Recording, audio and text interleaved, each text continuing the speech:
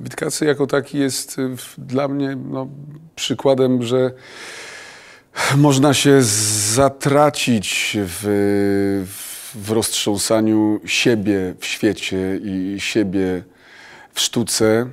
Wydaje mi się, że mm, przynajmniej ja tak próbuję w moim, w moim prywatnym życiu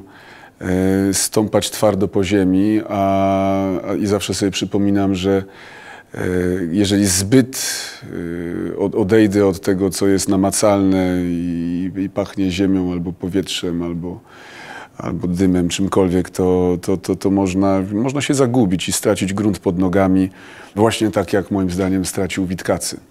Więc no, pod tym względem jest, jest ważny dla mnie, bo mimo, że z jednej strony był wspaniałym e,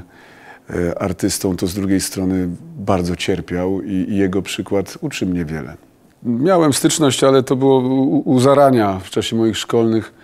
różnych przygód, tam ze wszystkimi rzeczami tak naprawdę, z którymi dzisiaj się częściej spotykam w pracy w Teatrze Klasyki Polskiej, no to tam się spotkałem po raz pierwszy, po raz pierwszy z Fredrą, po raz pierwszy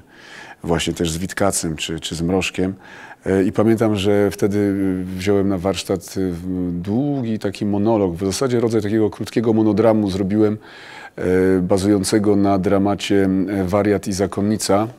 Do dzisiaj pamiętam ten moment, kiedy, bo to wymagało po raz pierwszy ode mnie takiego puszczenia się ściany, takiego zaufania instynktowi, którego się gdzieś tam no, nabiera się w czasie studiów aktorskich, zaufania do swojego instynktu. I to była taka pierwsza próba, próba, w której można było na dłużej odlecieć w jakieś rejony, rejony, których granice określił Witkacy, a jak wiemy, jego, jego horyzonty artystyczne były bardzo, bardzo szerokie.